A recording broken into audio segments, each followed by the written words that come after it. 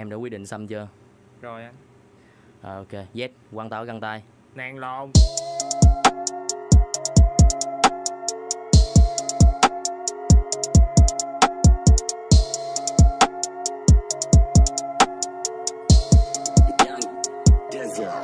Đeo đôi găng tay là tụi ta vào việc âm nhạc là hơi thở cơ thể tiết trong bàn tiệc. Mũi kim nhọn sắc bén vì đã lâu dần xuyên người bằng câu vần đụng vào tao là giết old school rap từ mày không cải tiến. Mấy thằng khác gặp tao biến. Cô cần phải gồng những câu tôi trải lòng bước vào sân chơi là chỗ tôi rải tiền.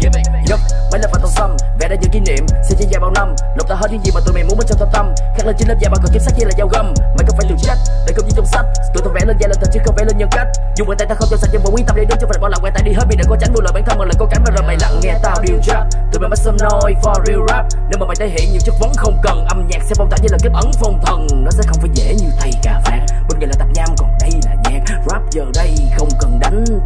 nó chứng tỏ mình ngu còn rap tàu bay. Không cần cánh vẫn lan truyền cho đến nghìn thu Mọi người nói tao là một thằng không tốt Khi trong mắt tụi nó tao khác với người ta. Quét trên da là những thứ dơ bẩn Nên tao sẽ nói nó vào trong từng lời ca. Hey, Khi mà tụi tao đến tụi mày đi vô đi ra. Sợ tay tao cũng thích như là Hiroshima. Mắt mày đã bị khóc chứ không phải Uchiha Đồ sắc devil nó con ngựa từ Surima.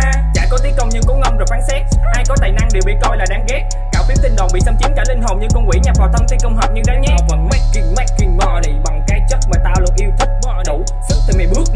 đừng có bên tai bằng máy thật khiêu khích vì cái thứ tao cần không phải là giải bày mà nó cần giải thích thì không có phải mày. Thử một lần tụi mày trở nên yêu rap thì máu hip hop sụp sôi và mãi cháy. Khi tất cả mọi thứ tao dành cho hip hop anh tao nói mày không được treo ngạo vì mình sinh ra. Tại miền đông và được bồi dưỡng trong một tư tưởng biến thành quá. Nhân biết thế cầm bút và đạt cảnh giới siêu sao. Thằng ngu không cần rap và nói đơn giản mày đéo bằng tao. Mày nghĩ bằng cu thấy là tắt. Đến bao giờ người thú bằng nhau? Studio tao chơi hip hop với lưu vi cùng kiếm tiền to. Tao chả quan tâm làm mấy thằng